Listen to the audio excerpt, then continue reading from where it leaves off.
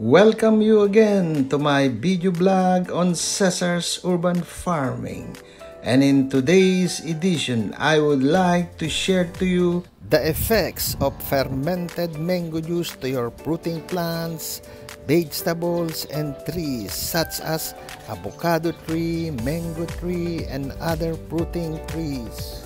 As you can see in this presentation, the flowers of my avocado trees starting to bloom.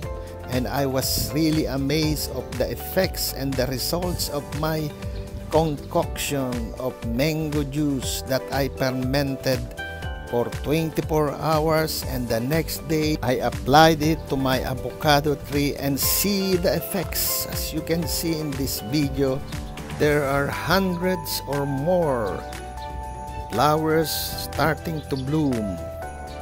I will be posting in here the link on how to make the fermented mango juice so you can also apply it into your flowering, fruiting plants, ornamental trees, fruiting trees, and vegetable and you will have the same results and effects. I hope you obtain valuable information once again and thank you very much for liking, for watching, for sharing and subscribing. Keep yourself safe and God bless us all.